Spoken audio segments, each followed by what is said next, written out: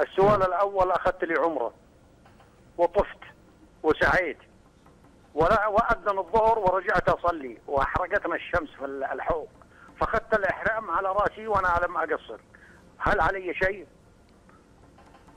السؤال يعني غطيت رأسك أي نعم غطيت رأسي عن الشمس غطيت. وأنا ما بعد قصرت أي غطيت رأسك بالحرام نعم أي يكون عليك فدية أيوه.